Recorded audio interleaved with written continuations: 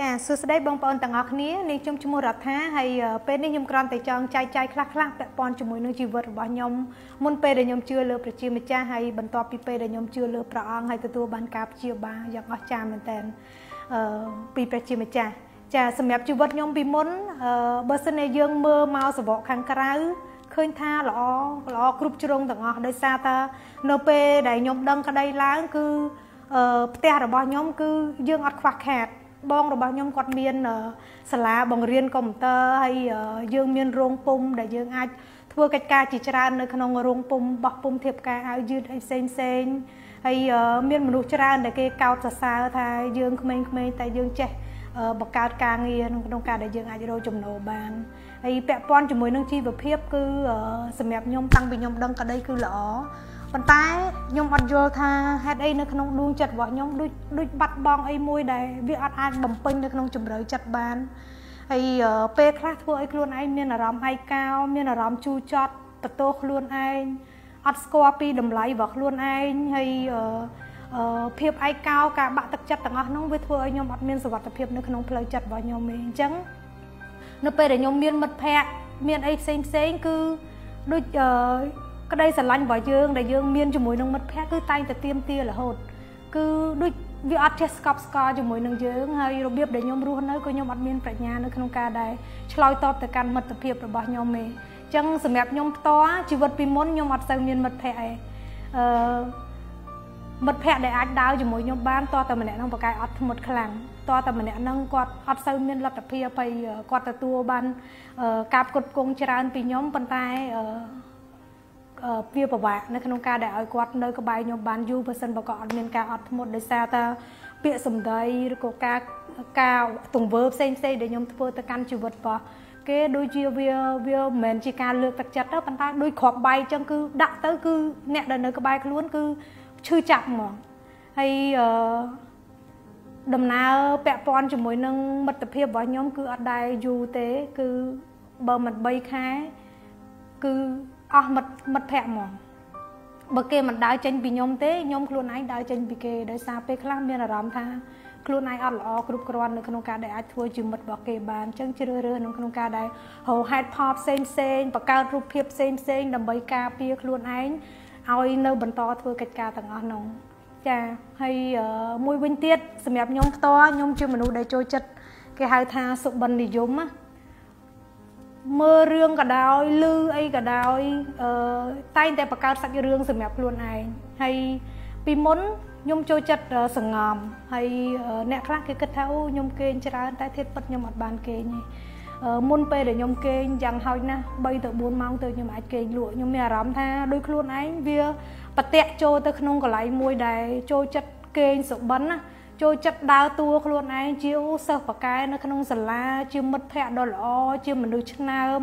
អីផ្សេងផ្សេងហើយពេលសបិនចូលទៅដល់សាច់រឿងកំសត់យំម្នាក់ឯងចឹងទៅអីហើយមានពេលមួយវាមិនមែនជាម្ដងវាច្រើនលើកពេលខ្លះរហូតដល់ម៉ោង2ម៉ោង3ខ្ញុំគេងអត់លក់ហើយផ្ទាត់ក្បាលខ្លួនឯងឬប៉ោះប៉ោះដូចដូចអាលឹកទុំចឹងគឺភ្លឺស្រឡាងហ្មងភ្នែកទោះបីជា មេឃអង្កឹតមិនក៏ដោយហើយខ្ញុំរហូតទំនុកនៅក្នុងការដែលគេងតែខ្ញុំគេងអត់កើតដោយសារតគំនិតរបស់ខ្ញុំវាទាញរហូតគិតរឿងនេះសម័យរឿងនោះបកើតតរឿងនេះរឿងនោះអញ្ចឹងខ្ញុំមានសាច់រឿងច្រើនដែលខ្ញុំព្យាយាមបង្កើតដើម្បីលួងលោមចិត្តរបស់ខ្លួនឯងហើយខ្ញុំពិតជាអរគុណព្រះអង្គដែលព្រះអង្គបានព្យាបាលកិច្ចការទាំងអស់នោះចេញពីជីវិតរបស់ខ្ញុំពីមុនខ្ញុំអត់មានទំនាក់ទំនងនៅក្នុងមិត្តភាព អត់មានសន្តិភាពនៅក្នុងមិត្តភាពរបស់ខ្ញុំប៉ុន្តែប្រងបានព្យាបាលខ្ញុំហើយមានអារម្មណ៍ថាជាពពកមួយខ្លាំងមែនតើដែលចេញទៅគ្រប់ទីកន្លែងជាមួយនឹងមនុស្សមិនថានៅក្នុងក្រុមជំនុំឬក៏មិត្តភ័ក្តិចាស់ចាស់ដែលខ្ញុំធ្លាប់ជួបពីមុនខ្ញុំចាប់ផ្ដើមអឺមានកម្លាំងចិត្តនៅក្នុងការដែលកសាងទំនាក់ទំនងសារជាថ្មី មានអារម្មណ៍ថាដូចយើងអត់ចោតប្រកាន់ គំនិតរបស់យើងចាប់ដើមផ្លាស់ប្ដូររបៀបនៃការគិតរបស់យើងអត់មានការចោតប្រកាន់ដូចមុនហើយដូចខ្ញុំនិយាយចឹងថាពីមុនខ្ញុំពិបាកគេ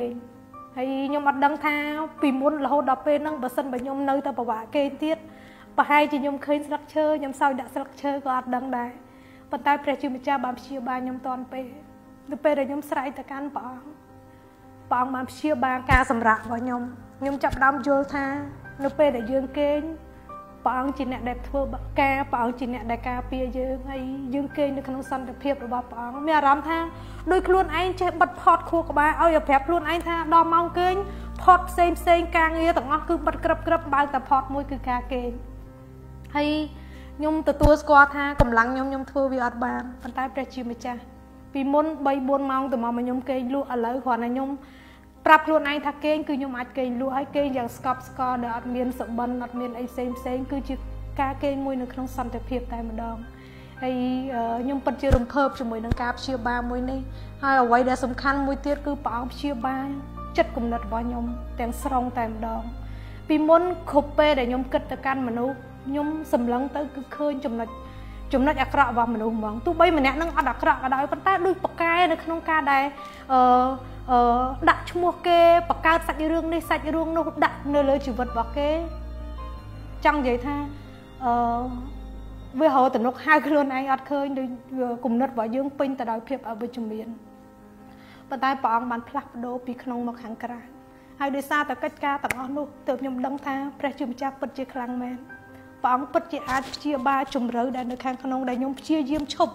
ពេលខ្លះខ្ញុំព្យាយាមឈប់នៅក្នុងការដែល កុំនិយាយដើមគេកុំថាឲ្យគេអាក្រក់អាក្រក់